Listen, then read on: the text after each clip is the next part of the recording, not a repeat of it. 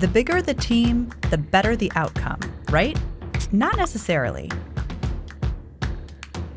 There's this phenomenon called the Ringelmann effect.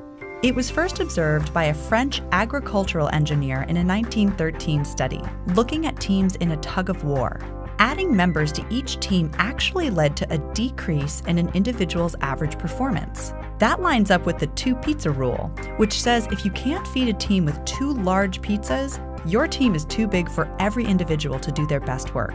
But when large and diverse teams assemble, the outcome can also be a massive success, a real greater than the sum of its parts end result.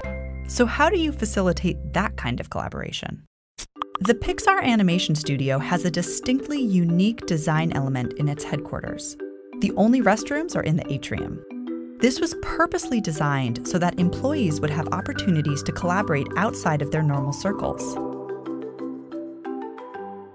Then there's the iconic turn of the century warehouse in New Jersey that came to be known as the Invention Factory.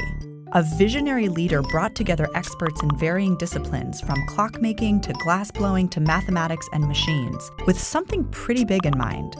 That leader was Thomas Edison, and their invention, the light bulb. And the working environment itself was groundbreaking. It became a foundation for modern research and development labs, inside of which a century of innovation has occurred. But thanks to technology, coworkers today aren't necessarily all going to be in the same space or time zone or fit the two pizza rule, especially when talking about multiple teams within a company coordinating with each other.